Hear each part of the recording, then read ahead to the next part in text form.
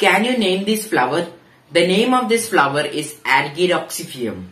This flower is also known as the flower of patience because this flower opens in every 7 years and lasts only for 7 days. For this fact, one like is needed and also subscribe the channel for more knowledgeable videos.